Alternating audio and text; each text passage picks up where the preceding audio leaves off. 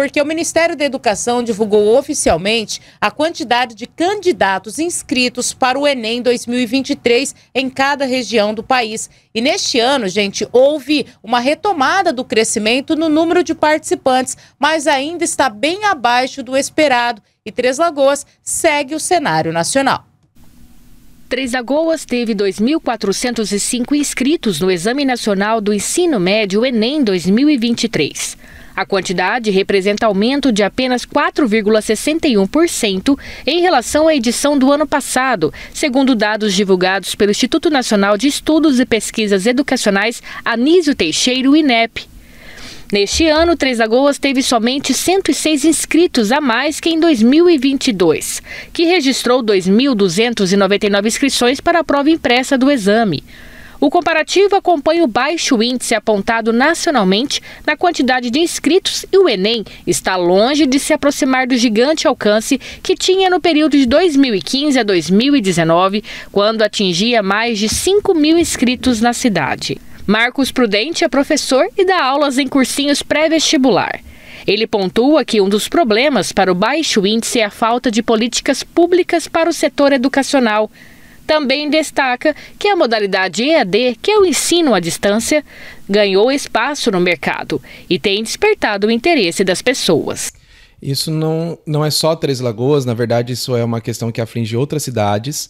Não podemos falar num contexto geral, visto que o número de inscri inscrições aumentaram a nível nacional. Mas em outras cidades, em alguns pontos do território, isso se deve muito a políticas públicas que deixaram de ser ofertadas para que o estudante ganhe incentivo a estudar. É, as pessoas não veem o porquê continuar os estudos, ainda mais uma universidade, quando um curso simples técnico ou até mesmo um próprio EAD já é mais fácil de ser feito do que uma universidade que tem um rigor muito mais é, assertivo para o aluno. Então ele não vê a necessidade mais de um diploma universitário, infelizmente. Né, isso vem acontecendo. Mato Grosso do Sul registrou 47.470 inscrições para o Enem 2023. Entre todas as unidades federativas, o estado é o quinto do ranking nacional com o menor número de candidatos. Desse total, de acordo com o INEP, 29.035 inscrições foram realizadas por mulheres. 18.435 por homens. O professor também observa que a falta de interesse nos estudos é um dos problemas.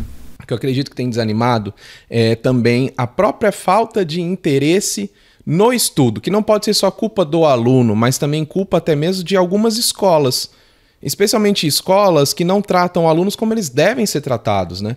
O aluno ele tem que gostar do lugar onde ele estuda, porque se ele não gosta do lugar onde ele estuda, ele não é atingido, ele não é marcado em nada pela educação.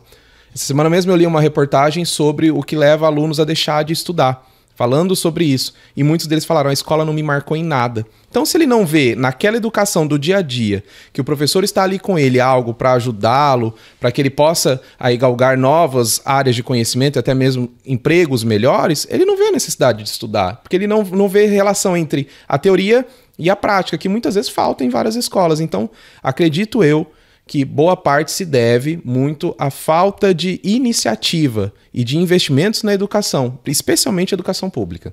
As provas do Enem serão aplicadas nos dias 5 e 12 de novembro. Como nos últimos anos, o exame será realizado em dois domingos. Em Mato Grosso do Sul, os portões dos locais de prova abrem às 11 horas da manhã.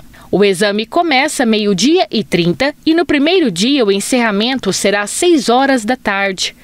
No segundo dia de prova, o encerramento será com meia hora menos, 5 e meia da tarde.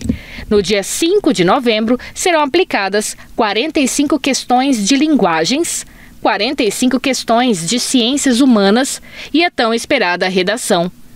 No dia 12 de novembro, serão aplicadas 45 questões de matemática e 45 questões de ciências da natureza.